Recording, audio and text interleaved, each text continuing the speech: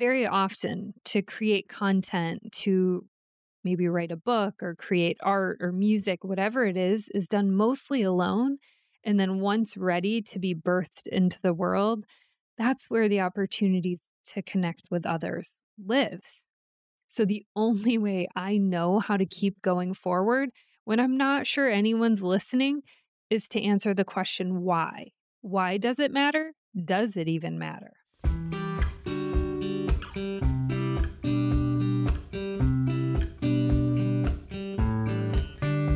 Hello, and welcome to the Emotional Expedition Podcast. I'm Meg Thomas, and if you want to live a more open hearted, magical life, it all starts with your emotions. This podcast will take you on a journey, helping you to better understand, express, release, and heal your emotions. Let's get exploring. I've been thinking a lot about our emotions the language of our emotions, and this podcast. And the question I've been asking myself is Does it even matter? I've been doing this podcast now for five months and 26 episodes, and very often it feels like I'm in a bubble all by myself. In some ways, being an entrepreneur for most of my life, I'm already familiar with this feeling. As a wedding photographer, I would typically actually only meet with the clients maybe three times the day of their consultation, their engagement session, and then again on their wedding day. And then I'd work with them for an entire year. Everything else was done with me alone and on my computer. And if I was lucky enough, I would get feedback of how much they love their images. Very often, to create content, to maybe write a book or create art or music, whatever it is, is done mostly alone. And then once ready to be birthed into the world, that's where the opportunities to connect with others lives. So the only way I know how to keep going forward when I'm not sure anyone's listening is to answer the question why. Why does it matter? Does it even matter? And this weekend, as that question has been swirling around in my head for a few weeks now, I got my answer. I had an adventure day. Those are my favorite days with my 12 year old niece, and I told her we could go anywhere she wanted to and do anything she wanted. So we set off on our day, starting with Panera for lunch. Then we went to Ulta Beauty, TJ Maxx, Barnes and Noble, and then for the finale, off to our favorite crystal shop. And you want to know what the best part of the day was? The car rides to all of these places. Yes, the car ride. Because we talked about her upcoming role in Shrek, that she once again got into the high school musical as a middle schooler. And we talked about friends and relationships in the future, what she dreams of. We talked about it all. And at one point, she told me how she was feeling about a particular situation. And I asked her, Well, have you told the other person how you feel? And she said, No, no, we don't do that. She said, I don't even know how to express myself. Even though she'd just done it so beautifully with me, it was easy because I wasn't the person she needed to tell her feelings to. To be able to be honest about how we're feeling with someone we care about is one of the most vulnerable and courageous things we can do. So, yes, this work matters because our children, the next generation, still struggle to express their feelings, just like we do, just like our parents did and our grandparents did. So, yes, it matters. We need to learn how to better understand and identify what it is we are feeling so we can more easily express what it is we are feeling with the people we love. Most of us still haven't mastered this. So, I'm going to keep going. I'm committing myself to doing this podcast for one year to see what kind of shifts it can bring. And I'm asking you if this podcast has meant something to you, that you tell me. Send me a DM, email, text, or preferably by an owl named Hedwig. And share it. If it has helped you in any way, share it. Share it with your friends, with your people. And if there's anything you want to know more about or a guest you want me to have on, send me that too, because this podcast is for you. It's for me. It's for all of us. And the last piece I want to share came to me this morning on my morning hike with Bazi, which is all about connection. I want to create more opportunities for connection and ultimately the integration of this work. Having the knowledge and the language of emotions will only get us so far. What we need to do next is to make it a part of our daily lives. So, in the next couple months, I'm going to be sharing ways of how we can learn to more fully integrate this work and how we can all learn to be brave enough to talk about our feelings so we can truly heal. And that's what led me to my morning hike inspiration. It was this idea for my next retreat. And I'm going to call it, you guys are hearing it first, the Brave Enough Retreat. So stay tuned as I start to create that. And if you want to dive deeper into the understanding of the language of emotions, I'm going to be starting another Atlas of the Heart book study in February. Lots to come. All right, let's get started on this week's emotion resentment. Some of these emotions should come with a warning label, and this is one of them. In preparing for this episode, I've experienced many, many opportunities to feel, see, and better understand resentment. And I'm just praying that when I begin working on the joy episode that I experience an abundance of joy. All right, so resentment. No one wants to be labeled or seen as being resentful. Most of us assume that resentment is a part of the anger family, but it's not. It's actually a part of the envy family, which is how it ended up in this chapter of Atlas of the Heart. This chapter, chapter two, is the places we go when we compare, and it includes comparison, admiration, reverence, envy, jealousy, and now resentment. Perfect example was when I was with my niece this weekend and she was telling me about her play practices for the upcoming musical Shrek. And she was talking about a couple of her castmates that keep skipping out on play practice for other commitments like sports practice or other things. And it's making her so mad. It's making her resentful. She's resentful towards those who are not working as hard as she is and those who haven't made the sacrifices like she has. She quit everything else just so she could focus on this play. How many times have you felt resentment towards someone else not working as hard as you, not putting in the effort? Maybe you come home and your partner's relaxing on the couch, and you come in with a list of a million things that you need to do, and you can just feel the resentment oozing out of you. And they're just laying there, relaxing. And all of this resentment, it's actually about envy. It's actually about what you are not giving to yourself that you see in someone else. Here's some examples from Atlas of the Heart. I'm not mad because you're resting. I'm mad because I'm so bone tired and I want to rest. But unlike you, I'm going to pretend I don't need to. I'm not furious that you're okay with something that is really good and imperfect. I'm furious because I want to be okay with something that's really good and imperfect. I'm working 60 hours a week. Why aren't you? The resentful feeling is because they are taking the weekend off and you aren't giving that to yourself. I thought you were going to clean the kitchen. Oh, you did? But you didn't clean the counters and empty the sink drain? Is this really clean or just your version of clean? Your resentment is not because the kitchen is perfectly cleaned. It's because why can't I be happy in my house if everything is not perfect? Brene says, There's a knife up against my throat, but I'm the one holding it. Sheesh. And this last one your lack of work is not making me resentful.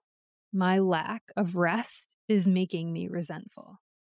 This one really gets me. Your lack of work is not making me resentful. My lack of rest is making me resentful. This is all about envy. I'm envious that you are giving yourself rest when I so clearly need rest and I am not allowing myself to have it. Can you see how this is becoming envy? Here's the definition from Atlas of the Heart Resentment is the feeling of frustration, judgment, anger, better than and or hidden envy related to perceived unfairness or injustice. It's an emotion that we often experience when we fail to set boundaries or ask for what we need or when expectations let us down because they were based on things we can't control, like what other people think, what they feel, or how they're going to react. I tried to find a movie or a TV series clip that was as good as the one Brene introduced us to in her HBO special, and I couldn't find a better one. So I'm going to share hers. It was a holiday movie from the 90s with that family dynamic of the one sibling who stayed behind to take care of the ailing parents, which is just a breeding ground for resentment. The movie is Home for the Holidays. It's a funny, smart movie directed by Jodie Foster about adult children gathering at their parents' house on Thanksgiving Day. Two siblings, played by Holly Hunter and Robert Downey Jr., are unconventional free spirits who have both moved away and maintained a close relationship.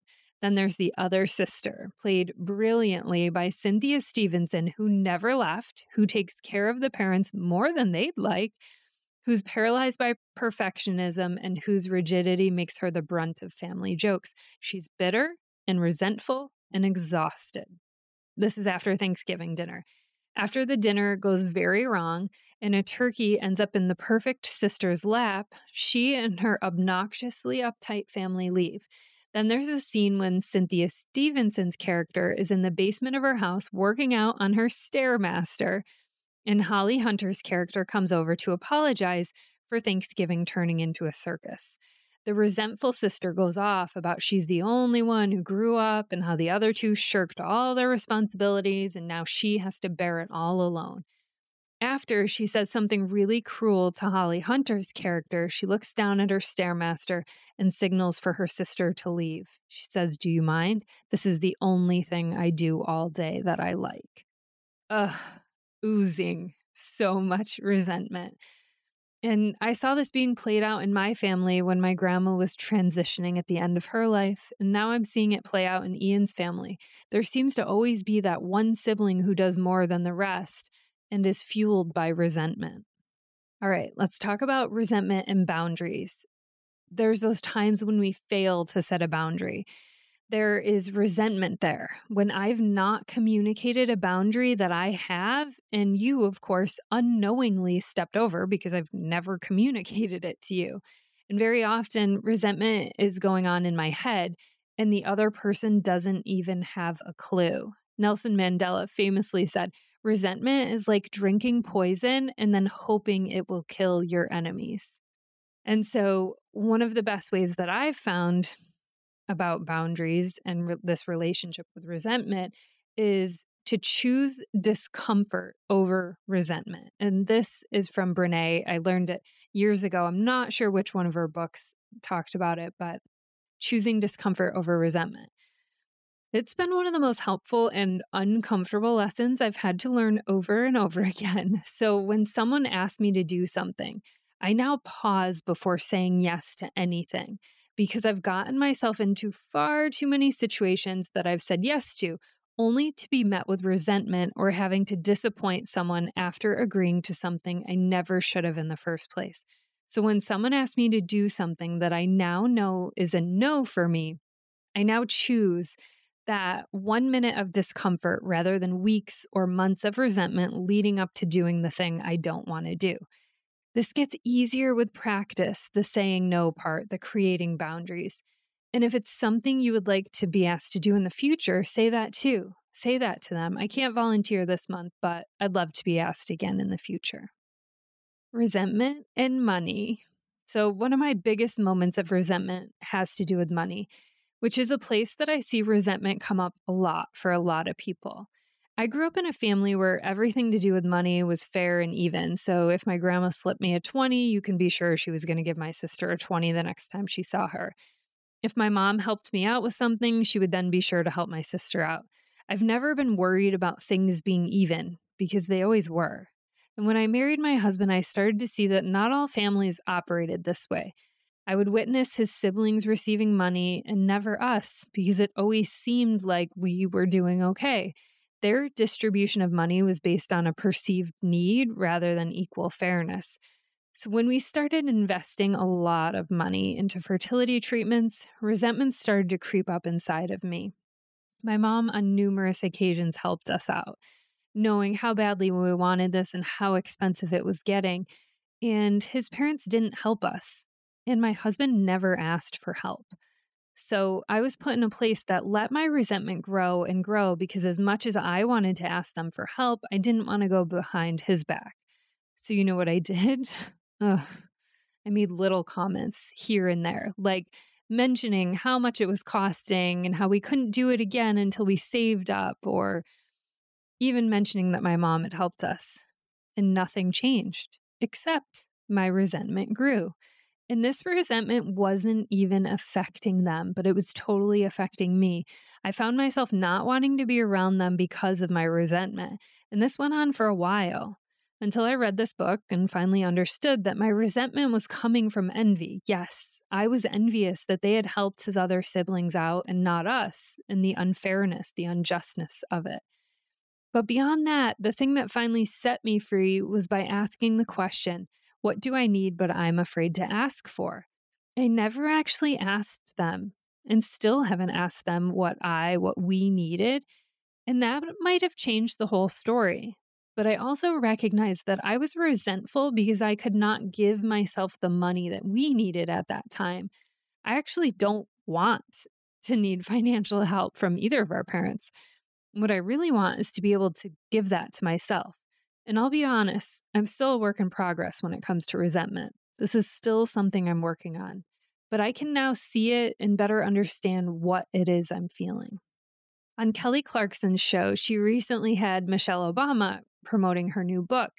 And they had a great example of how resentment can be overcome when we figure out what it is we need and find a way to give that to ourselves. So they were talking about having children and wanting it to be a 50 50 shared responsibility with your partner, and how rarely that's the case.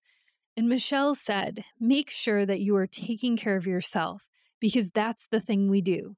Sometimes we take on more because we feel guilty when we go work out or when we go to the hairdresser. She went on to say, My advice when I stopped resenting my husband for that was when I started prioritizing myself and I didn't wait for him. So the help I learned didn't have to come from him, but I needed help. So I relied on my mom, my girlfriends, and a broader community of people to give me that break so I'm not mad at him all the time. Melody Beattie shared that resentments are blocks that hold us back from loving ourselves and others. Resentments do not punish the other person, they punish us. They become barriers to feeling good and enjoying life. They prevent us from being in harmony with the world. Resentments are hardened chunks of anger. They loosen up and dissolve with forgiveness and letting go. Letting go of resentments does not mean we allow the other person to do anything to us that he or she wants. It means we accept what happened in the past and we set boundaries for the future. We can let go of resentments and still have boundaries we try to see the good in the person or the good that ultimately evolved from whatever incidents we feel resentful about. Then we put the incident to rest. Praying for those we resent, asking God to take our resentment from us helps us too. What a better way to begin a new year than by cleaning the slate of the past and entering this one free of resentments. Pema Chodron, a Buddhist nun, shared an exercise that could help you transcend resentment. It's called Just Like Me, and it's included in her book, Comfortable with Uncertainty 108 Teachings on Cultivating Fearlessness and Compassion.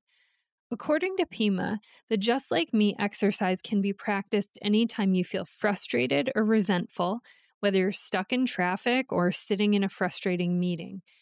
When these negative feelings start to bubble up, focus on the people or person triggering these feelings and tell yourself they are just like me.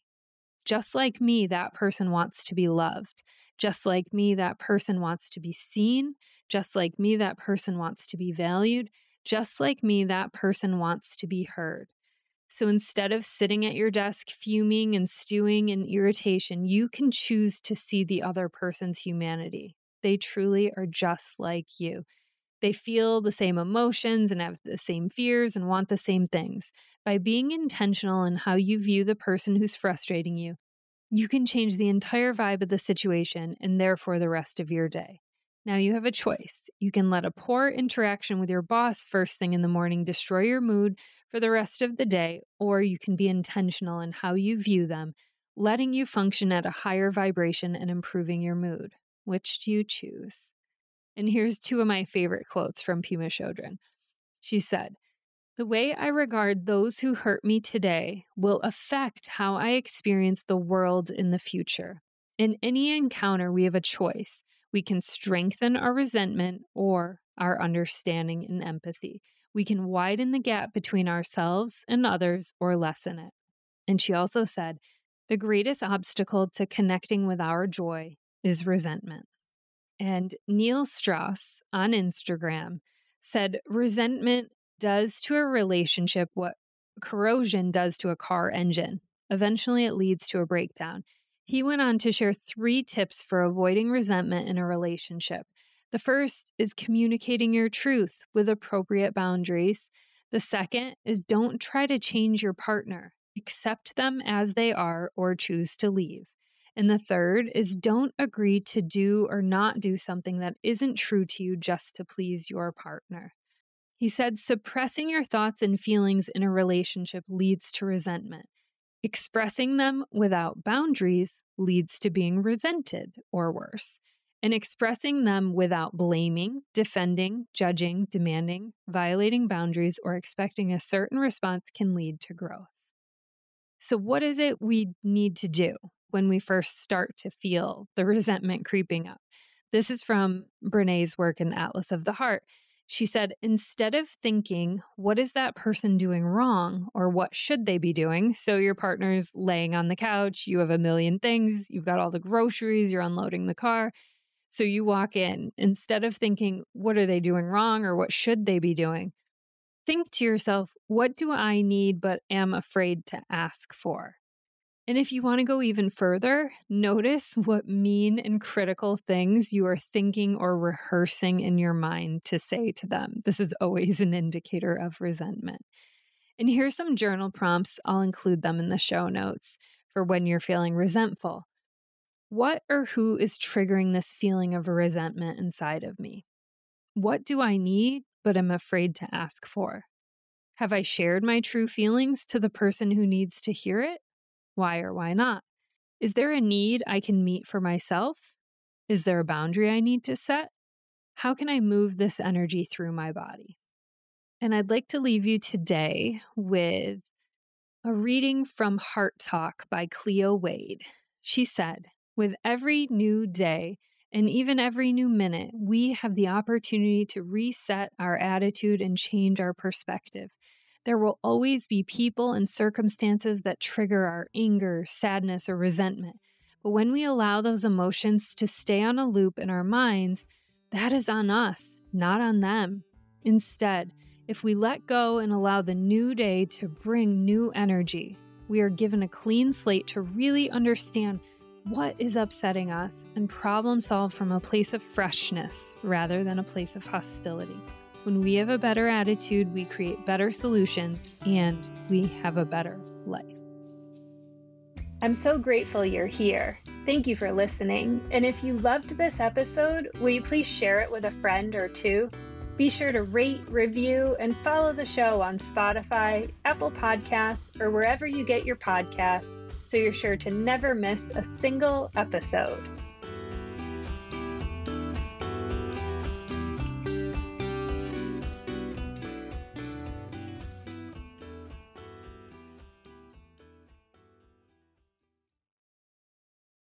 This podcast is part of the Sound Advice FM network. Sound Advice FM, women's voices amplified.